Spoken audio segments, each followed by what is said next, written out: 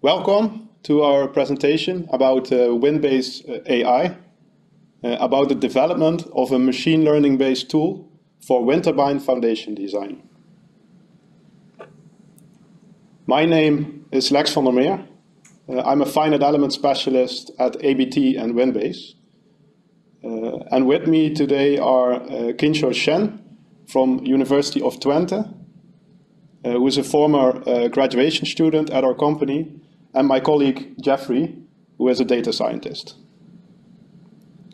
We would like to also acknowledge uh, the support of Dr. Farid Vahdatikhaki from University of Twente, who uh, was the supervisor of Shen during the writing of his master thesis. We have split up our presentation into three parts. I will explain the first part about why we wanted to develop a machine learning based tool for wind turbine foundation design.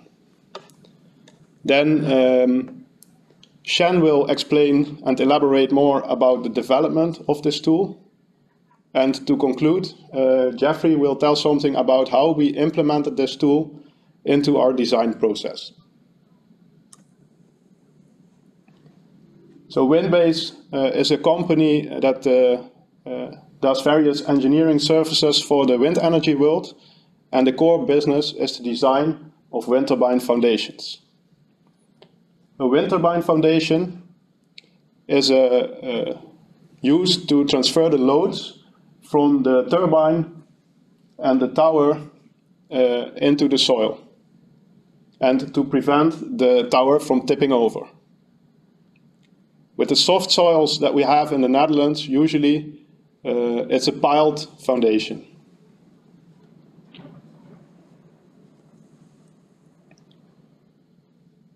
At Windbase, we use 3D nonlinear finite element analysis of wind turbine foundations uh, to gain optimized designs.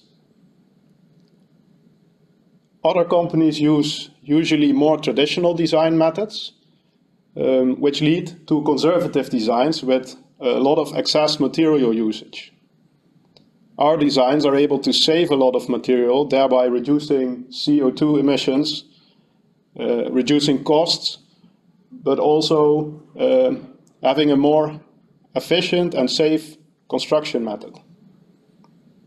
This all comes at the cost of longer analysis time. For the prelim preliminary design, uh, that longer analysis time is not uh, what we want because we cannot wait 50 hours uh, to know if one design is satisfactory.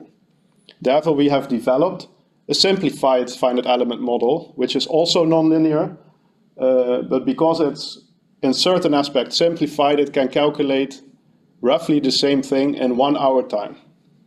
But it's conservative compared to the full 3D model. But we're not really satisfied by, able, by the ability to calculate only one variant per hour. And therefore, um, we wanted to develop a model which is much faster so that we can ca calculate millions of variants and get insight into the full design domain. And that's where the machine learning comes into play. And I would like to introduce Shen, who is going to explain more about the development of the machine learning model. Thank you, Lex.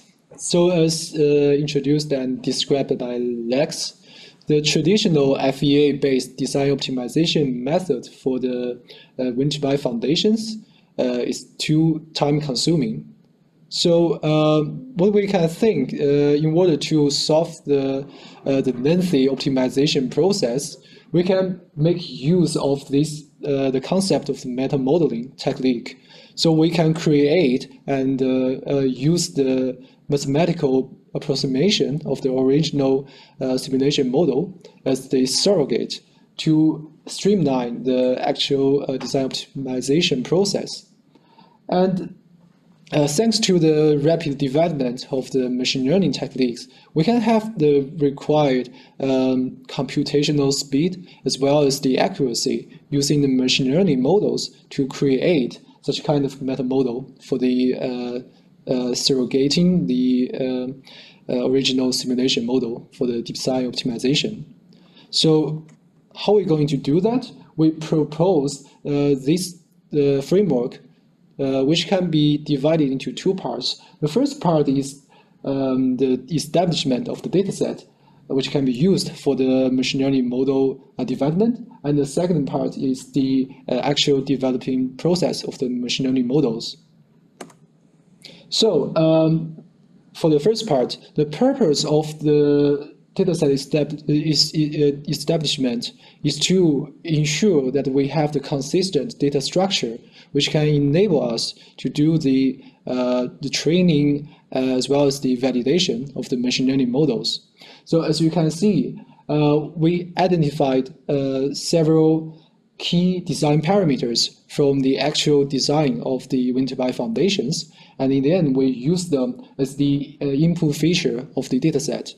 So, and accordingly, with the help of the Windbase and uh, make, uh, based on their database, we create more than 2,000 uh, FEM models using 2.5D uh, models, so which can enable us to obtain the corresponding outputs of the dataset, which is mainly concerned with the moment rotation uh, behavior of the wind turbine foundations. So, however, we simplified the uh, the moment rotation diagram as shown on the left side of the screen uh, into four key points so which can enable us to convert the whole problem into a multi-output regression problem. And uh, in order to tackle this multi-output regression problem, we select two machine learning algorithms considering their uh, scalability, uh, speed, accuracy, as well as the interpretability, namely random forest and feed-forward neural network. So uh, for the actual developing process of the machine learning model, we have the following uh, framework. It will start with the usage of the k-fold cross -valid uh, validation to enable us to split our dataset. Um, meanwhile, we also use the genetic algorithm to conduct the feature selection as well as the uh, hyperparameter optimization to ensure that in the end we can have the the best configuration leads to the best uh, predictive performance. So in order to validate our framework, we conduct a case study. Um, so according to the result, here's the result of the regression plots regarding the multi-output random forest model. So we can clearly see that it can in the end give us a very um, desirable predictive performance, the accuracy, which also indicates that even if we increase the complexity for the machine learning modeling, but in the end we can still ensure we can get the uh, desirable result. And now I would like to leave the stage to, uh, to Jeffrey, who will uh, further uh, introduce how we uh, exactly implement the machine learning into the design process.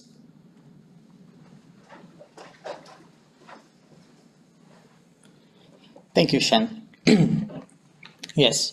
Uh, so within ABT, we believe in AI democratization, which means that we want to make our tools and data as accessible and easy as possible and directly bring it towards the users, in our case, designers of the wind turbine foundations.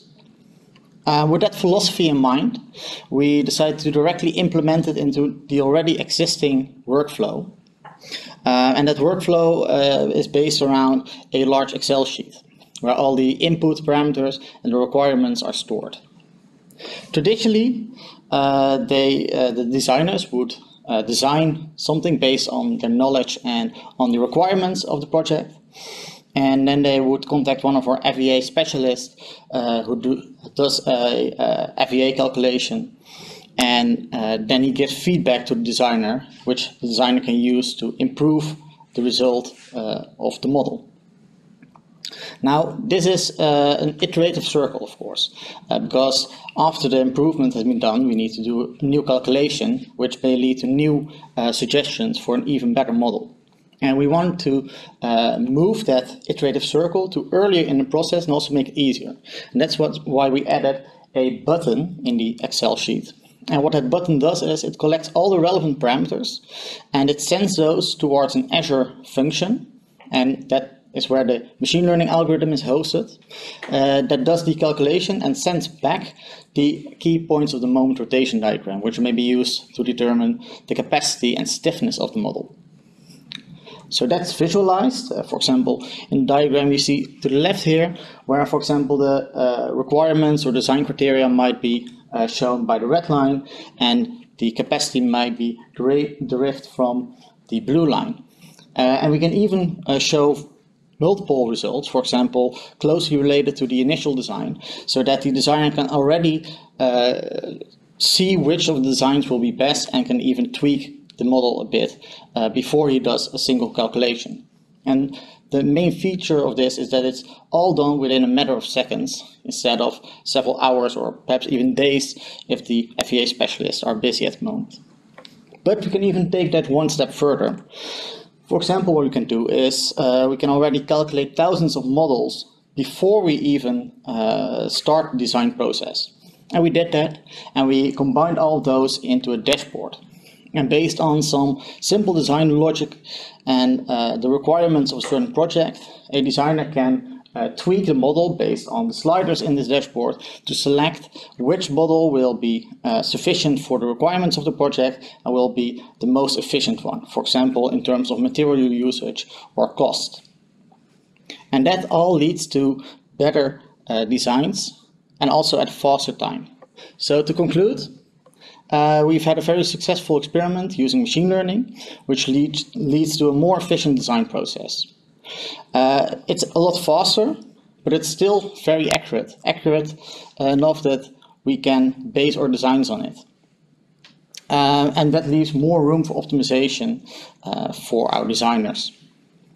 The next step, of course, uh, will be to uh, expand on this database to include a full 3D nonlinear FE model so that we can get even uh, better estimates of the actual capacities uh, that we expect. Thank you all for listening.